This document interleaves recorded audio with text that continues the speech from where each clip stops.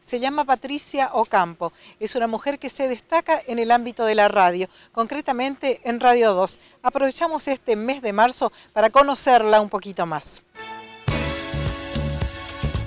¿Qué tal? Muy buenas, bueno, a todos los oyentes, a todos los televidentes. Rosana, gracias por invitarme justamente aquí a tu programa. Bueno, te cuento cómo inicia mi vida en radio. Desde estudiantes, desde estudiantes, yo soy de la ciudad de Clorinda, provincia de Formosa, y ni bien terminé la secundaria, sabía que quería hacer radio.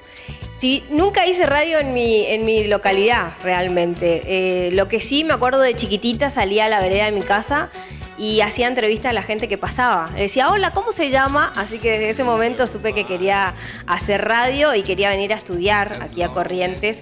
Tenía dos opciones, Rosario o Corrientes. No sé por qué dije Corrientes, porque algo me, me, llevaba a esta provincia que realmente amo y adoro y no estoy arrepentida de haber venido aquí a Corrientes. Y bueno, aquí empecé a estudiar.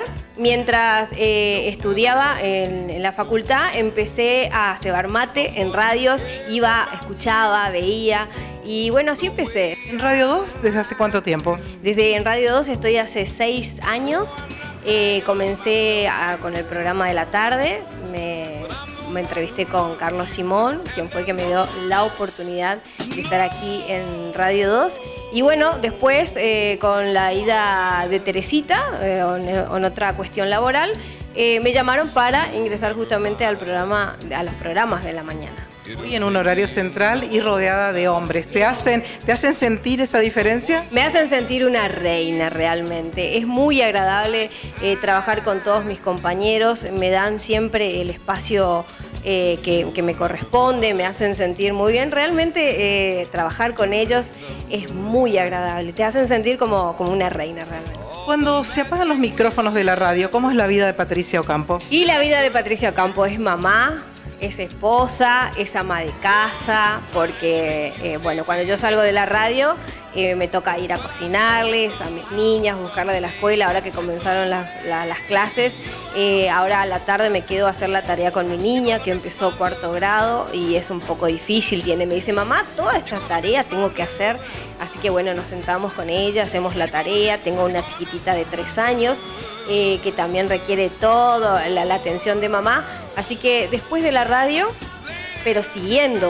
por supuesto, escuchando radio, soy mamá, ama de casa también, porque la tarea de la casa nunca se termina. Así que esa es mi vida después de la radio. Mamá, ama de casa, esposa y cuando me queda tiempo libre hago un poquito de zumba. Patricia, ¿cómo te ves dentro de unos años? Además de canas. Además de canas, eh, me sigo viendo en los medios de comunicación, haciendo radio siempre porque es lo que me gusta, es lo que a mí me, llena, me, encanta esa comunicación y más que nada aquí en Radio 2 que tenemos directo con la gente. Eh, por suerte tengo la oportunidad de estar eh, permanentemente hablando con la gente, escuchando sus reclamos, pasando las informaciones de los diferentes barrios y eh, creo que esa tarea que me dieron específicamente, el de comunicarme con la gente, es la que a mí más me llena. Además hace que los pies tengan sobre la tierra. Totalmente, eh, esa comunicación permanente que tengo, he hecho varias cosas en radio, ¿no?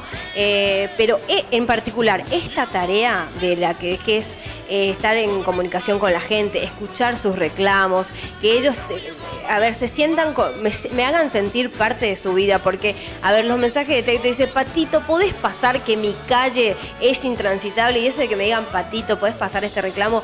Es como que me hacen me hacen sentir parte de, sus casas, de sus vidas. Y creo que esa es la tarea que más me llena. Así que yo me veo haciendo radio siempre, pero también me veo eh, trabajando para la gente en algún momento porque siento que eso me gusta.